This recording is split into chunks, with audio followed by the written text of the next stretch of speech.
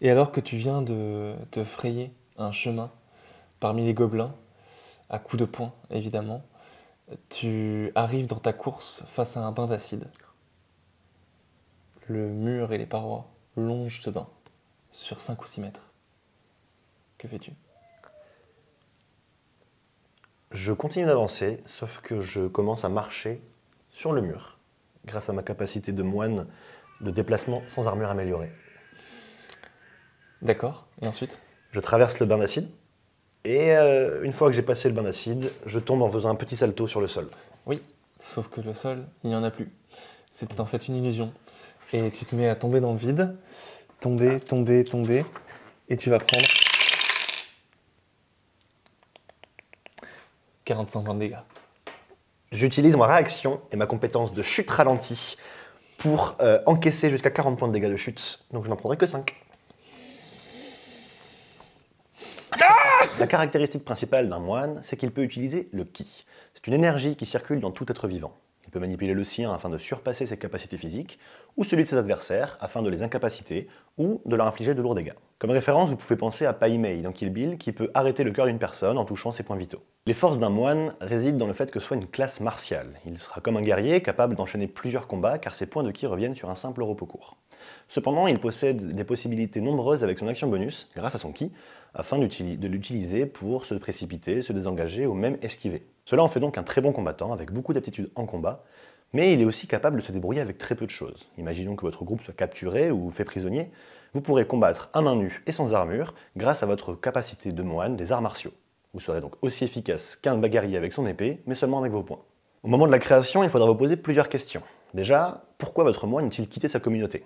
Alors ce n'est pas obligatoirement quelqu'un qui faisait partie d'un monastère, cela peut être un ermite qui vivait seul et qui a développé ses capacités au combat, mais qu'est-ce qui l'a poussé à, dans ce cas-là, faire partie d'un groupe et partir à l'aventure avec des compagnons?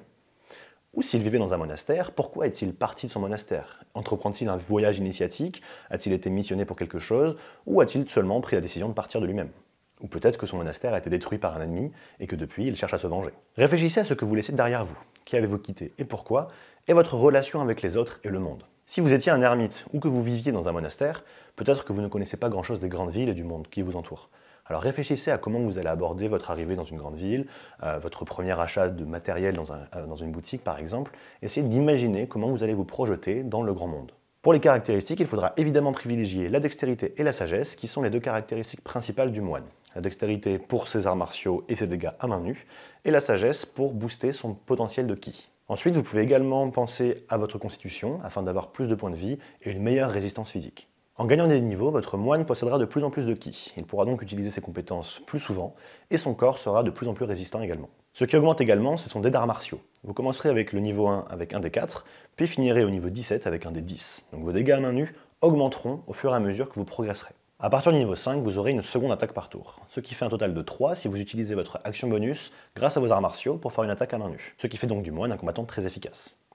En gagnant des niveaux, vous allez aussi débloquer énormément d'aptitudes qui vont symboliser la résistance de votre corps. Vous allez pouvoir devenir immunisé aux poisons et aux maladies, pouvoir mettre fin sur votre simple volonté à un effet comme charné ou effrayé, etc. Votre corps va vraiment devenir de plus en plus résistant et puissant. La seule faiblesse que présente, à mon sens, la classe de moine est, comme je le disais tout à l'heure, le manque de capacité sociale. Il a énormément d'aptitudes pour être efficace en combat et pour rendre son corps résistant. Par contre, dans tout ce qui va être dans les interactions sociales, il sera peut-être assez limité.